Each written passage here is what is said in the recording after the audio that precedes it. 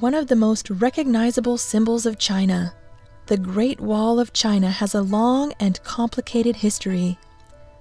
It is not just one wall, but many different walls and fortifications that were built over the course of thousands of years. The walls built at different times were often built with different materials, everything from packed dirt or wood to stone and brick. These walls were meant to protect China from invasion. The earliest walls were built more than 2,000 years ago when individual states built walls of packed earth and gravel between boards to protect their territories from attackers with swords and spears.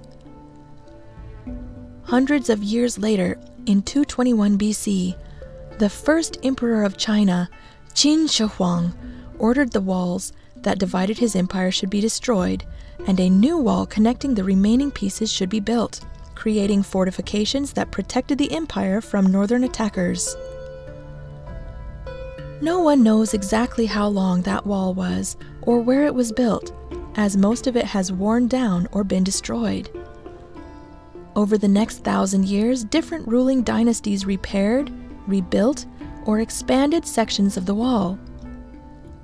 The leaders of the Ming Dynasty, which began in 1368, constructed the most famous version of the Great Wall. They began by building watchtowers and garrisons, later adding walls of stone and earth. New construction on the wall ended in 1644. At its height, the Great Wall stretched more than 13,000 miles, or about 22,000 kilometers in total length making it the longest structure ever built by humans. In some places, the walls were 30 feet or 9 meters thick and 25 feet or 7.5 meters tall, and it was studded with as many as 25,000 watchtowers.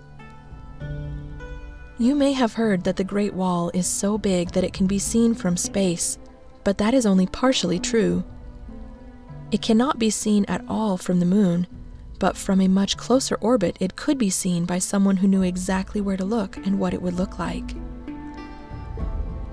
Today, the Great Wall of China is a World Heritage Site, protected and maintained for all of humanity to enjoy.